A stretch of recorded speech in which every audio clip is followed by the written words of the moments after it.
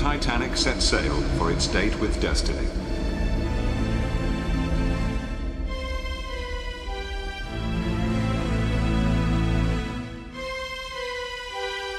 Five hundred miles off the Newfoundland coast, on the night of April the 15th, 1912, more than 1,500 lives were lost.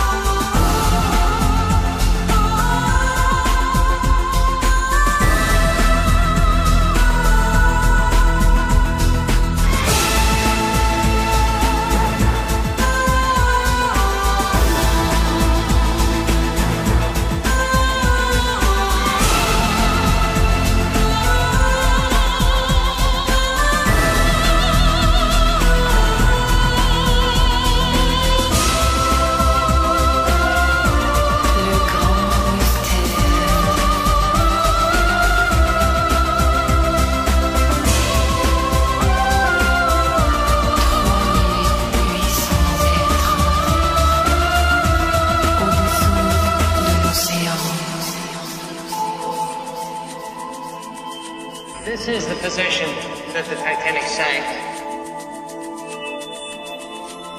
It's extremely dangerous. The real danger is uh, for those three men because you're talking life and death danger.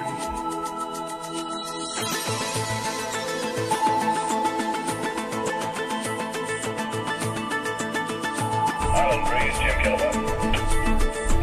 Go.